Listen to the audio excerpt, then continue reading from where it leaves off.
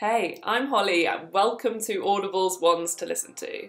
This one is slightly different, um, but then everything's a bit different at the moment. So we're going to be recommending some audiobooks that are sourced from the Audible team and from Twitter, audiobooks that are helping them at the moment, and I'll be recommending them here in the hope that they can help you out too. So to kick off, we have a recommendation from Audible's Richard Noble for Aristotle and Dante Discover the Secrets of the Universe by Benjamin Alire Sáenz. In his words, this is a beautiful coming of age slash coming out novel with themes of family and friendship set in New Mexico in the 1980s.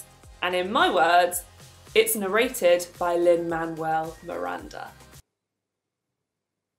The next recommendation comes from Audible's Matthew Parker, and it is for The Interestings by Meg Wolitzer.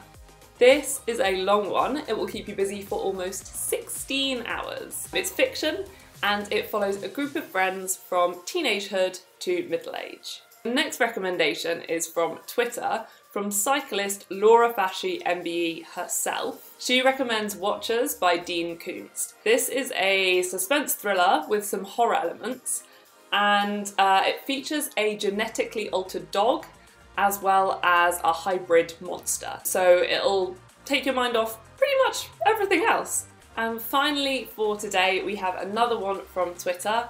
This comes from Anton Boyle and he recommends Daisy Jones and the Six for its amazing story and incredible narrators.